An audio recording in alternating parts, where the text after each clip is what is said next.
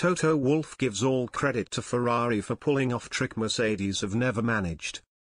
Mercedes team principal Toto Wolff has waxed lyrical over Ferrari's engine gains that have seen them rise to the top of the Constructors' Championship standings this season. The historic Italian team struggled to maintain their usual high standards in 2020 and 2021 but now look set to rejoin the battle at the front of the order after producing the grid's quickest car under the new technical regulations.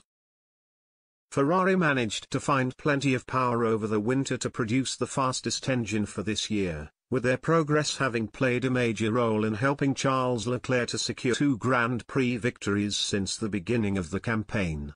Wolff has since hailed Ferrari's hard work by insisting that Mercedes have never been able to improve by the same margin in as little time since their return to F1 back in 2010.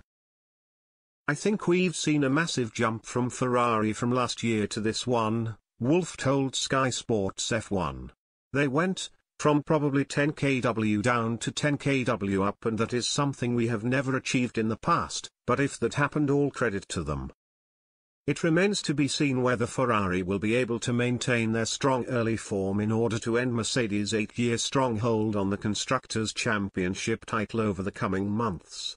The Silver Arrows have been no match for the prancing horse since the start of pre-season testing and look set to be denied a record-breaking ninth triumph at the end of the campaign if they fail to rescue their pace as a matter of priority.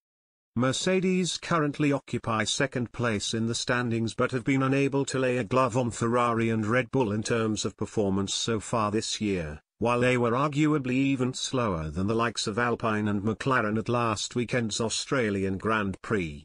Wolff has already declared that Lewis Hamilton and George Russell will be outsiders for this year's end-of-season honours but insisted that luck may swing things back in their favour over the course of the campaign as a whole. If we look at it from a mathematical standpoint and probability, I would probably say that the odds are 8 to 2 but this is motor racing and anything can happen, said Wolff. Teams can DNF and if we unlock the potential of the car then we can arrive back in the game. So as a motor racer, I would say it is probably 40 to 60.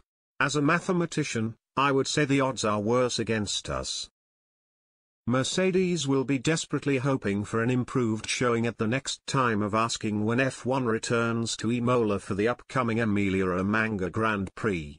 They were forced to lose out at the hands of Max Verstappen at last year's event and will seemingly face a tough task in downing the Dutchman and Leclerc based on their current pace when the action gets underway next weekend.